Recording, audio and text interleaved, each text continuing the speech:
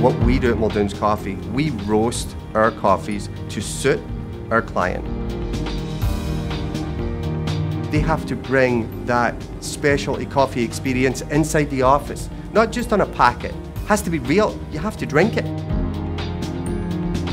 I have been in this business, trained by my father since I was 15 years old. My brother and myself, the way we were taught, we would we'd rather never get another customer than lose one. Originally coming from Scotland, we're a family of five. Now we're a family of 50.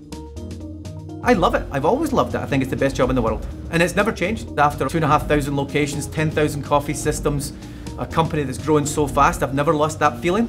I've never lost the feeling. Quality in our company is hugely important. Our main stock machine is hand built in Quebec because those people really understand their business. They build me a great quality of machine, very much like the Sprinter.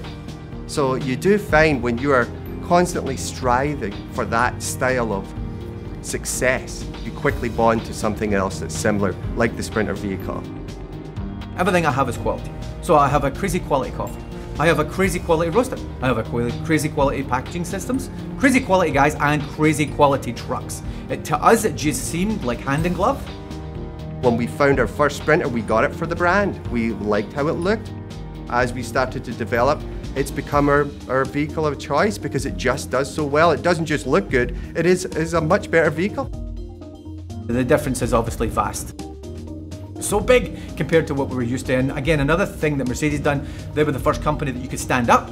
Because remember, in all my vehicles, you were always hunched over like the Hunchback of Notre Dame. But in this case, my guys can stand up, which then means you're not crawling around in there on your knees. The goal is optimization. We get that from Sprinter, from the value of the truck, from how the truck looks, from the service we receive from the dealership. The drive is more comfortable for the guys.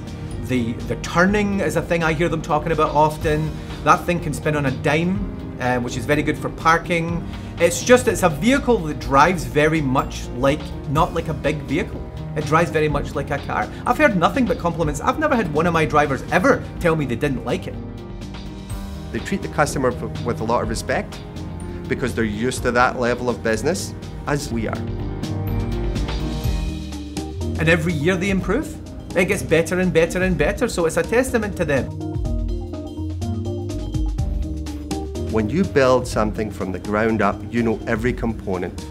Coffee is the same way. Ultimately, a successful system continually improves, and we see that with Sprinter. So what we're beginning to see through our fleet is not only the quality and the actual build of the vehicle, but also in, in how you're treated when you go into their locations, how you're treated by the service department, how the calls are scheduled. It's very professional. They are used to dealing with a certain level of client of which the Sprinter client is treated the exact same. You can make that difference. You can get better every day. You can. You know, you know what good is. I know what good is. So when we find something that wins, we keep with that. The truck was great for us, great for our brand, and I'm proud to have it carry my coffee. And let me tell you something, when, when it comes to that, nothing's good enough. But I do consider that vehicle to be a part of my brand as well. It's rugged and it's tough, much like its owner. We are very proud of what we've done. We're also very eager about what we're about to do. And I know Sprinter will be a part of that.